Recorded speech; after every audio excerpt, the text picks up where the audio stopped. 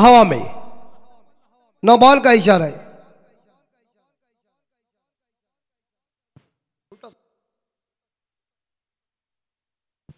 ये गेंद अंपायर साहब कमर की ऊंचाई के ऊपर थी।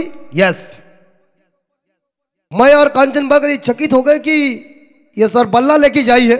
ये बल्ले के ऊपर कैसा आया? हम थोड़े से अचंभित हो गए लेकिन हमारे ध्यान में फिर भी आया। जाके जाइए तीन